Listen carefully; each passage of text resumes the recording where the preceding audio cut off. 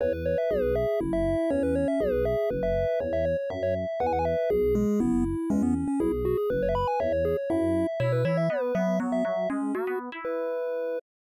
guys, MCN Mike here. Welcome to the final Retrovember video. I know this is being uploaded in December, so it's more like Retro-sember? I'll explain why this video is later than usual at the end. For now, let's get to the subject at hand.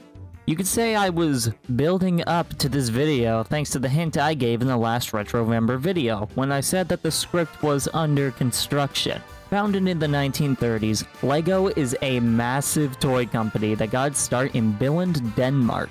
With the release of its first ever set featuring building instructions in 1966, LEGO is a brand that has captivated generations, yours truly included. If there's something out there, just anything, someone has probably recreated it with Legos. However, toys aren't the only market LEGO has invaded. Since 1995, with the release of LEGO Fun to Build for the Sega Pico system, LEGO has thrown their hat into the video game market. Before getting into the LEGO games we know and love today, I'm going to give an honorable mention to a LEGO game that isn't necessarily like the games I'll be talking about today. Back in 2010, LEGO made an MMO called LEGO Universe. Loyal fans who have watched me for the past two years may remember when I made a video about LEGO Universe as part of my Dead MMOs series. While a bit has changed since that video went up, I still recommend watching it if you want a brief history of LEGO Universe.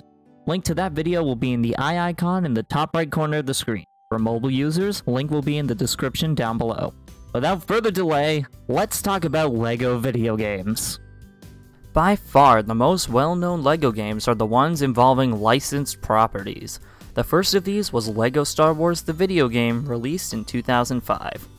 Okay, well, technically the first one was LEGO creator Harry Potter, but this one was the first one that adapted the formula that all LEGO games continued to follow.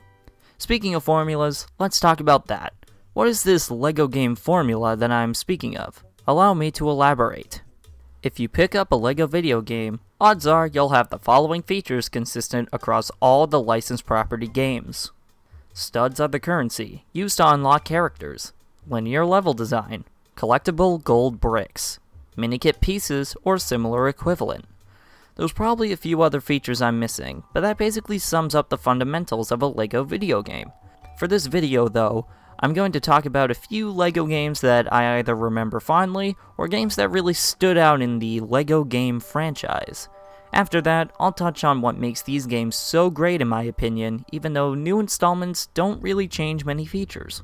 The first games I want to talk about are the LEGO Harry Potter games. I know, J.K. Rowling isn't exactly the world's most favorite person, that doesn't deter from the fact that these games were fun for me, so don't mistake this as me supporting J.K. Rowling's personal values. These were originally separated into years 1 through 4 and 5 through 7, but were later bundled in the LEGO Harry Potter collection.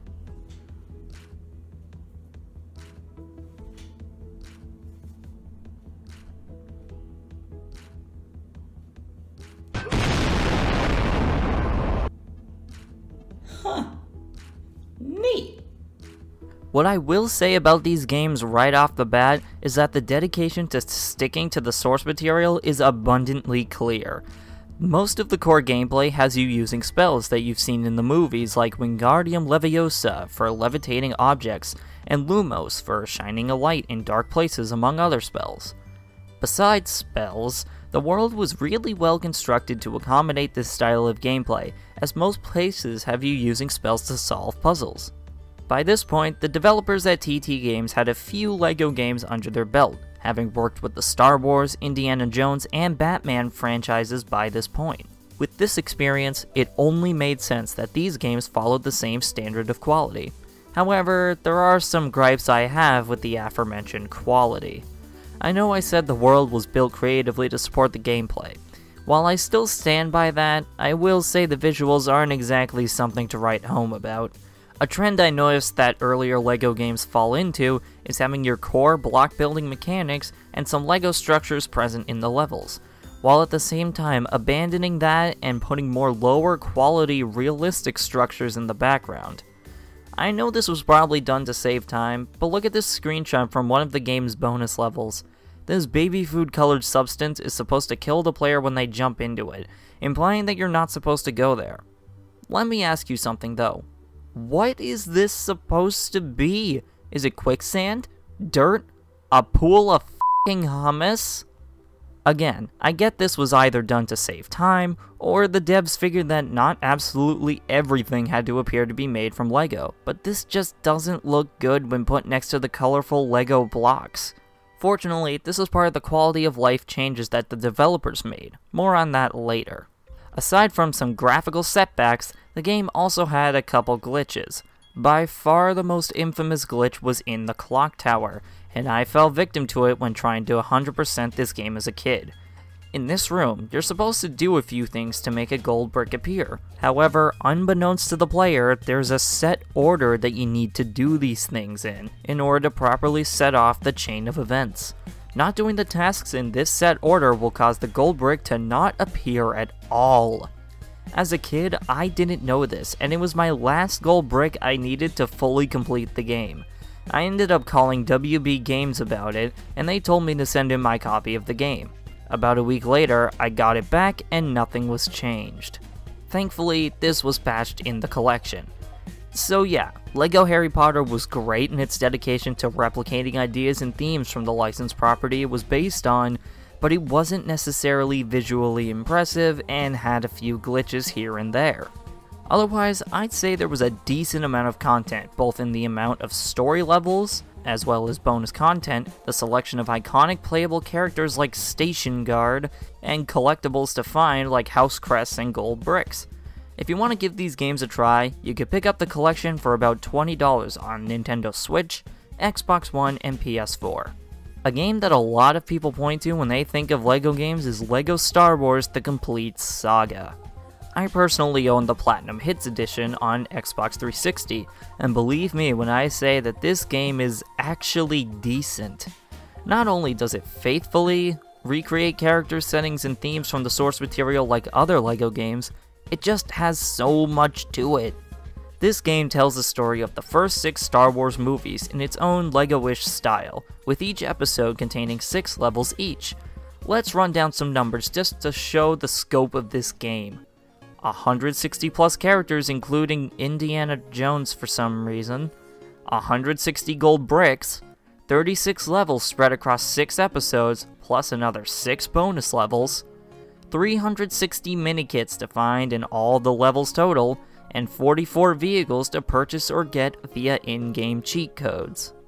Once again, we see faithful adaptations of concepts from Star Wars make their appearance, and it feels like all the main playable characters have their own use. Sometimes there are doors that only robot characters can open, or maybe there's a pile of bricks that you have to use the Force to reassemble. Perhaps you could see a minikit that's just barely out of reach, so you switch to Jar Jar Binks to jump really high and get it.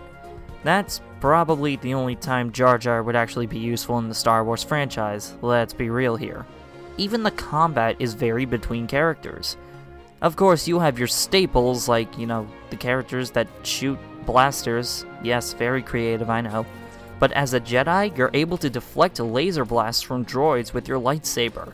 In addition to that, you can also use the Force as an evil character to instantly kill characters and be a total dick to everybody.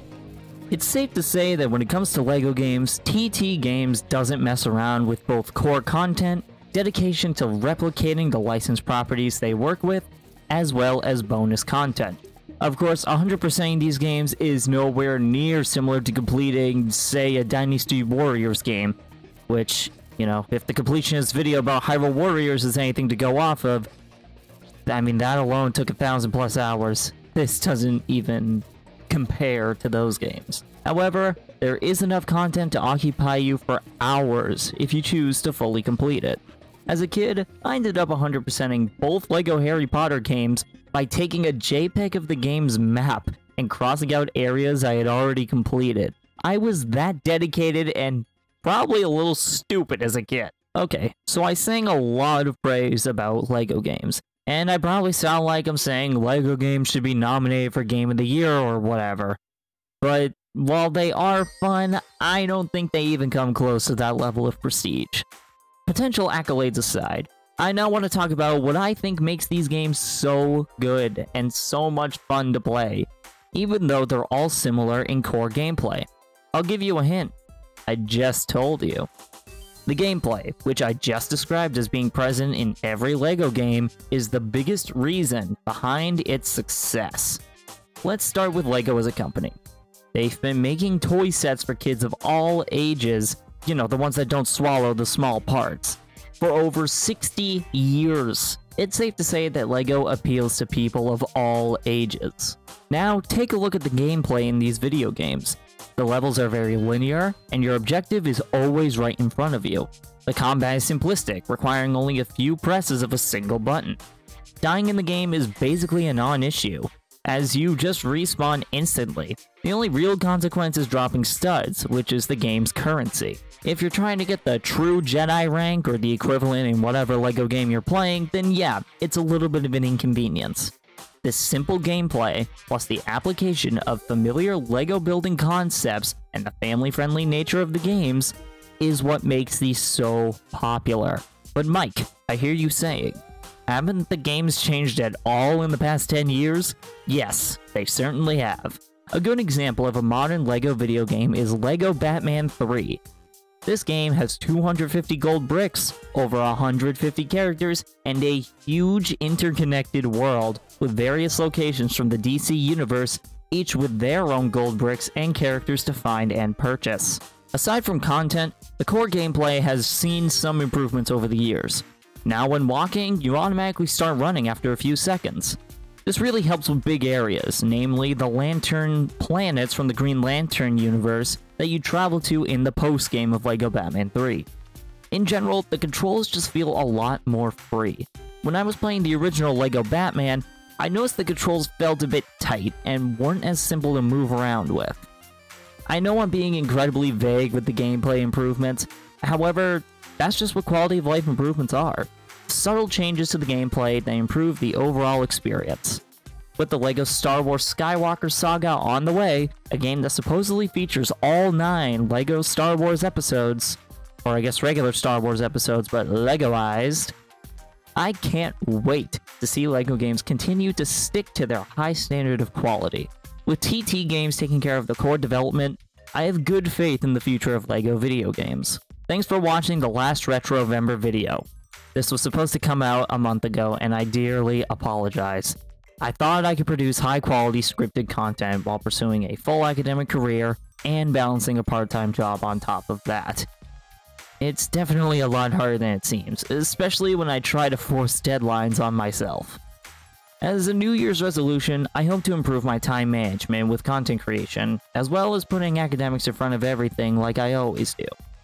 Despite this video being out later than I wanted, I want to thank you guys for sticking with me this year, and here's to more years of talking about video games. I'll see you guys in the next one.